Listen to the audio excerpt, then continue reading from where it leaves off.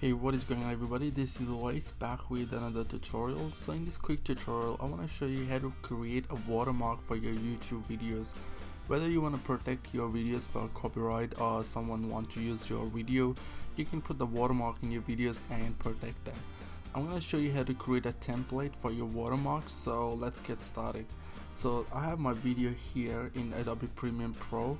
I'm going to go to my title and then create a new title right and then name it watermark enter and then here what I want you to do go back to the title and click on graphics insert graphics.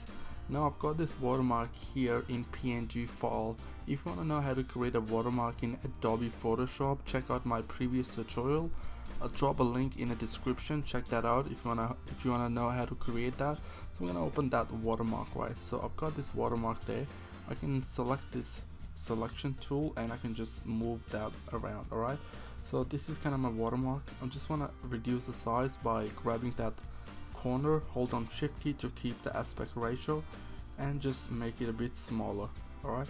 And I want to drop it to this corner. And then all you gotta do here is go back to the title click on templates and then click here and then import current as a template. So I'm gonna click on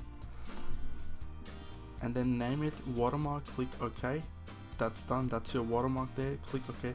Now you have successfully created a template for your watermark. I'm gonna close that title window and then I will go and access my project browser and here we go we got watermark there. Alright so I'm gonna drag that I'm just gonna drop it to this time frame where my video starts. Alright so I'm gonna Alright, so I have that watermark at the left corner. So I want to double click on my watermark but first zoom in by pressing plus sign and double click on that.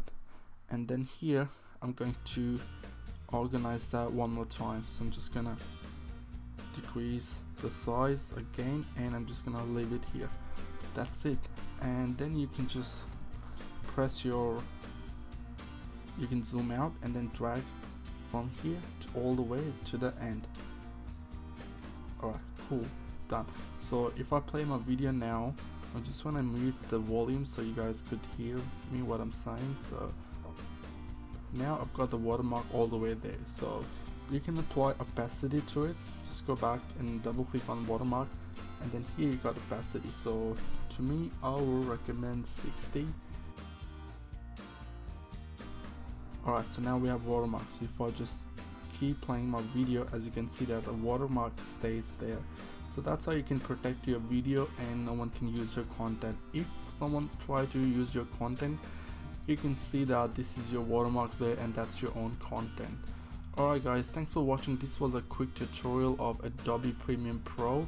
I hope you liked this video and if you do give this video a thumbs up and subscribe to the channel for more videos like this.